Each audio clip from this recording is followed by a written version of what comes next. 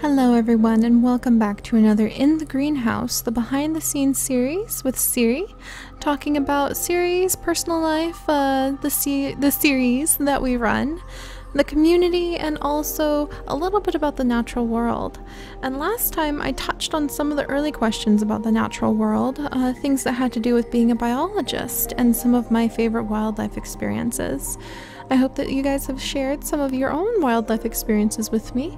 And if you could, just go ahead and leave some in the comments if you've got some new ones. Hopefully, they're good ones, though, if you were my mother and taking a walk as a child and stepping straight on top of a copperhead head and having to stand there until help came back with the snake thrashing under you. Maybe they aren't always positive experiences, so maybe you've had a few of those too but I'm going to continue the little bit of work we've been doing after watching so many of the golden dragonflies flit away right under my little net. Oh, speaking of flitting away under a net, come here. Uh, eh, gotcha. That's a very slow green butterfly though, so I shouldn't be too impressed.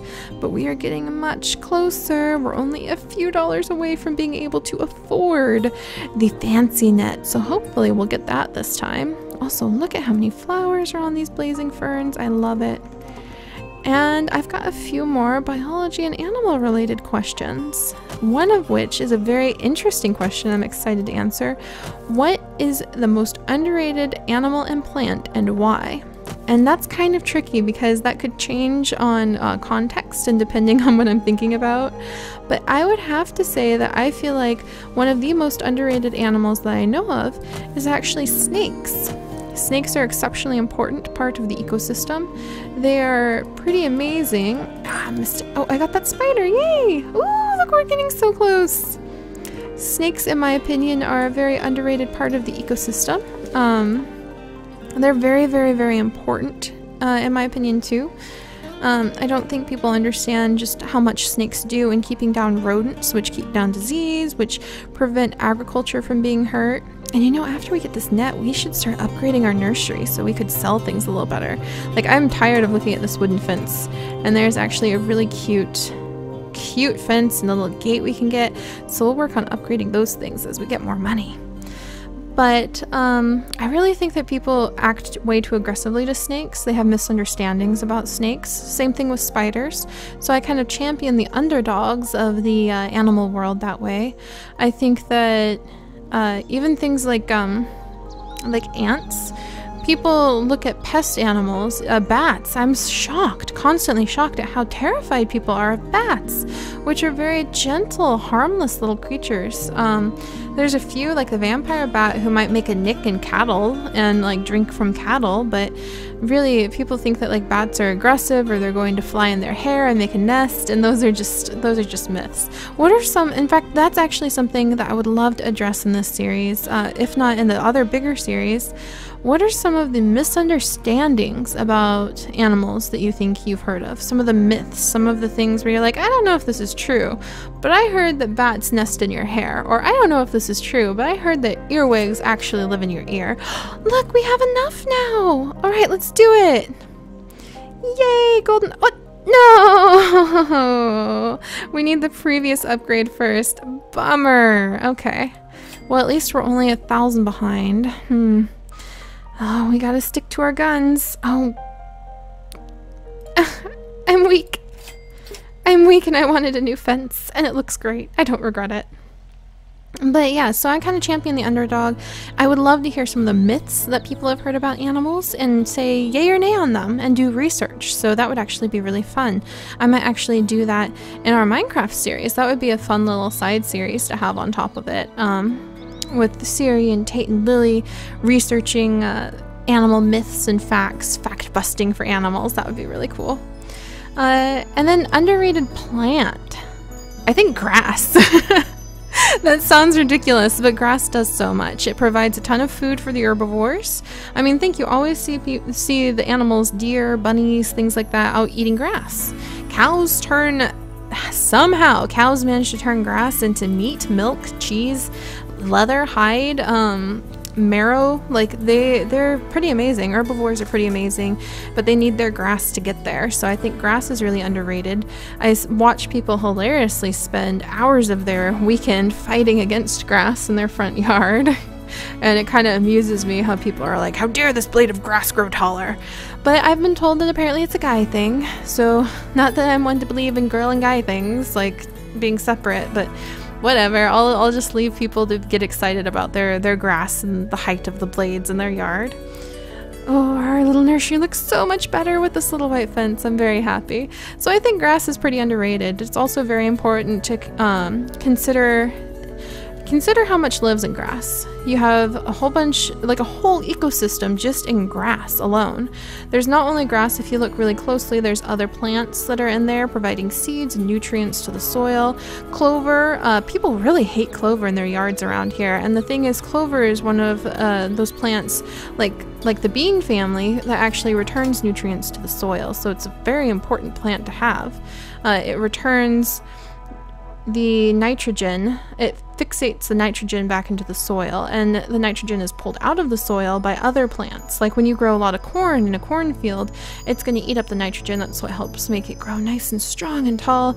But you need the nitrogen returned to the soil, and that's why people will crop rotate and put in soybeans so that soybeans or legumes, the bean family, uh, can return that nitrogen, fixate it back into the soil. It's a fascinating process if you're me and love studying that kind of stuff.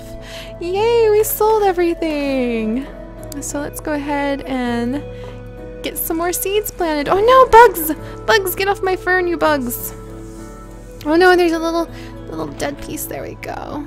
Gingerly tending to my garden. It is very difficult to do a let's play of this series because I play it all the time in the background. While I reply to comments while I'm doing work, while I'm processing videos, it's such a small file that it's not intensive on my computer at all. So I can play it whenever I want, and I play it abundantly. So let's throw a few more of these guys out here, just what's a random. Ooh, let's get that guy propagated. I think, ooh, ooh, ooh, blue spider, cobalt spider, we got it. We have a fancier net now, so that's good at least. Uh, so yeah, I really, I think that, like, the nitrogen fixating plants, clover, grass, etc., uh, really are underrated. People need to value them a little bit more, in my opinion. Snakes, spiders, champions of the underdogs. Uh, and then this is a really great question. If I could bring back one animal that's extinct from any time in history, what animal would it be and why?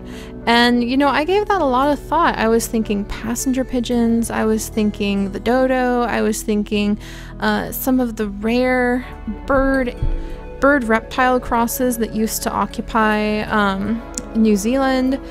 I was really giving it a lot of thought, and then I, I think if I could pick any of them, I would probably bring back one of the big dinosaurs, one of the big herbivorous dinosaurs, herbivore dinosaurs, because butterfly, butterfly, butterfly, butterfly. Uh, one of the really big guys. And I, I, I mean, I can't even pick which one. You guys let me know if you could bring back a dinosaur, which one would it be? I would pick a peaceful, huge one. Well, I say peaceful. I mean, it's not going to try to eat people. A, a huge one because I would want someone to walk up. Ooh, there's a new butterfly, new butterfly. Oh, we got it. Oh, it was just a common butterfly. Apparently, we already had that one. Yeah, it was a black moth. Um, because I would want people to walk in and look up and go, wow. I would want them to be swept off their feet. I would want it to be many, many times. I mean, an elephant does that to you, a whale does that to you. So I would want someone to be able to walk in. If I could only invest the time and resources in one type of, of, of, animal to bring back, I would want it to be something that makes people stop and their jaws drop and their knees get weak with awe and uh, just amazement at what our planet has produced in the past and what it is capable of.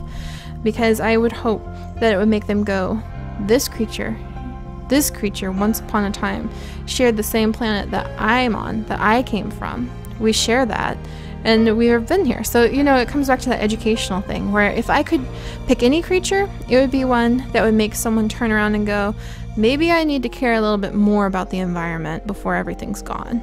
So that's me. that's getting a little bit more serious, but that's like the core of, of what I wish I could do with my life is make people value the natural world and the environment quite a bit more. Um, so I would try to bring back somebody who could help do that. All right, let's see. How are you guys? Yay! Seeds! Let's just tuck you over here. How are you doing? You are not fertilized. How am I doing on those seeds? Doing pretty good on those seeds. So let's just add a little bit of this and a little bit of that and see what happens. Also, why don't we go ahead? I'm gonna do it again because I like you guys. Instagram bomb. Let's do it. Oh, I spend all my stuff I save up when I'm playing off camera just to buy stuff while you guys are here because I like you. Boom! Go, little guys, go! Vroom, vroom! Beautiful. Absolutely beautiful. Oh, look at that! Look at that! Oh, we really need to buy. Do I have enough money? Yeah, let's, we're gonna get some of the plant food. In fact, we'll get a couple doses of it and just go hog wild, making sure that they have tons and tons of flowers when they grow up. So proud of you guys. There we go. We can start to afford little purchases like that now. We're getting there. Uh, oh, and then how many pets do I have? And will I show them off? And how are my birds doing? Well, I actually sized down on my pets. Uh, it, does anyone else here have crested geckos? Please raise your voice in the comments if anyone else has crested geckos or finches. I know we have a few other finch owners, but I don't know if anyone else has crested geckos. I have uh, now four crested geckos. I used to have nine. I actually rescued crested geckos. They're such an easy pet, but they live for 20 years, so people really underestimate uh, how long a crested gecko is going to need their care, and they get bored of them because a crested gecko doesn't really do a lot like a dog or a cat does, or even a bird. Um, they, they kind of are a pet that you can totally forget about and unfortunately that means people would forget to feed them. So i rescued crested geckos for a long time and ended up with a lot of them. I ended up with too many. I ended up with uh, well over a dozen. And thankfully i was able to find new homes for everyone. I'm down to two that i might consider breeding because they're they're of lines i'm very picky about if you're going to breed your animals they need to be of high quality and you need to be of high quality. And then I have two that I have rescued. it's a fuzzy seed! I want to know what's going to be in the fuzzy seed. That's going to be so exciting. Okay, we're going to sell you now. So I've got, uh, let's see. I have my four crested geckos. I have the M tank, Mellow, Midna, and Maya. And then I've got Sheik. Uh, Sheik is actually a boy. Sheik was named thinking Sheik was a girl. And Sheik's actually a boy. Sheik is named after the Zelda series, the Ocarina of Time specifically, in case you guys are curious. And uh, so was Midna, except she was uh, she was Twilight Princess. Uh, and then uh, if I will show them off, and I will, I'm actually thinking about doing, uh, I'm trying to figure out what to do for the 5,000 subscriber special. For me, I always want to take the opportunity to use my, my subscriber thank yous as a thank you because I don't really care how big the number is as much as I am so grateful for the opportunity to speak with that many people about the natural world.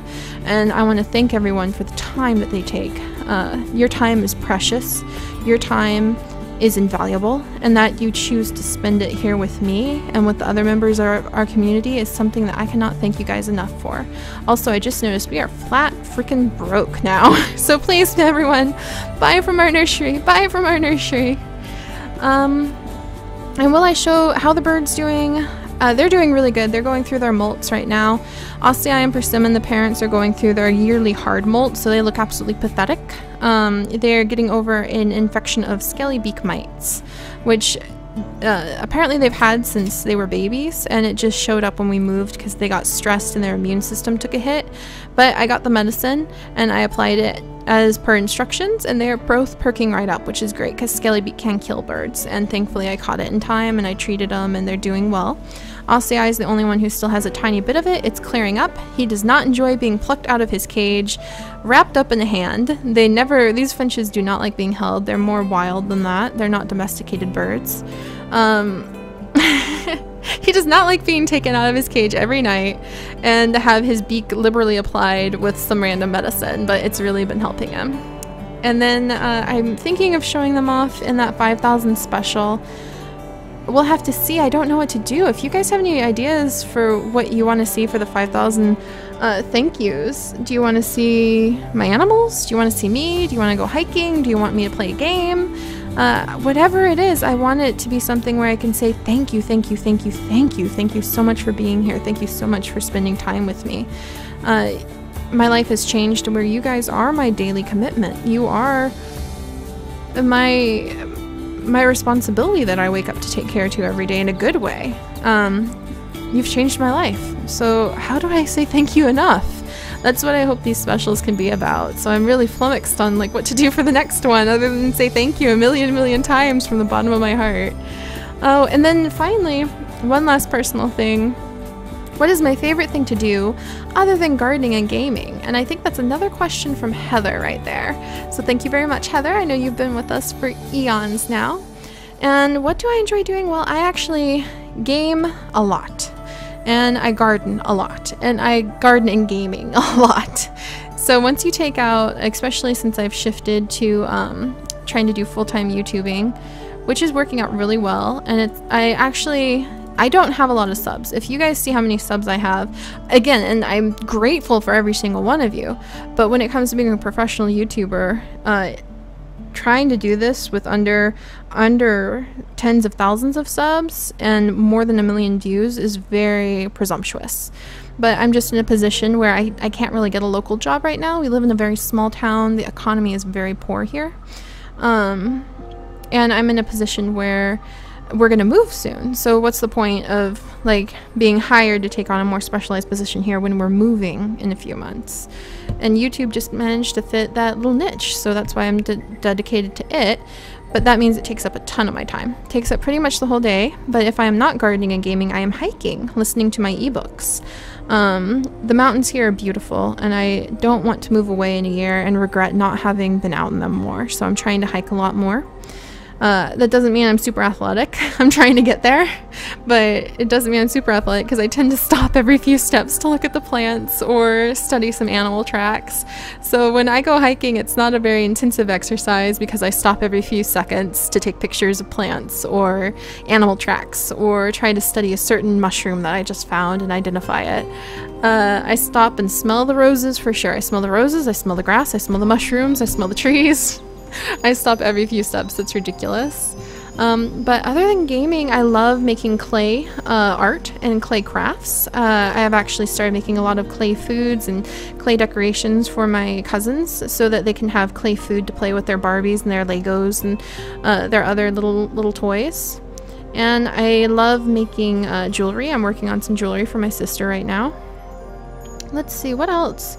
I love collecting biological specimens, uh, like going on those hikes. Buy my bamboo, dang it, guys. I'm poor, buy my bamboo. It'll be discount bamboo if you keep that up. So I love collecting biological specimens. Maybe I could show some of those off for the 5,000 subscriber special.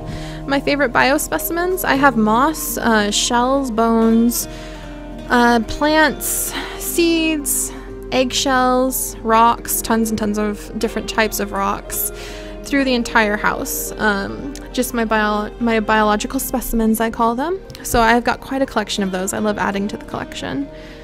Um, but yeah, other than like gaming, hiking, gardening, reading, cooking, I love cooking. Uh, we're vegan, so I'm always trying out new delicious vegan meals. I love it. Um, taking care of my animals. I love cleaning actually. I really love cleaning. I love everything being organized and tidy. So I clean a lot too. So those are some of my favorite things. and as you can tell, they're kind of all related to the natural world. But uh, I'm going to try to get people to buy our little bamboo and work on taking care of some of the plants.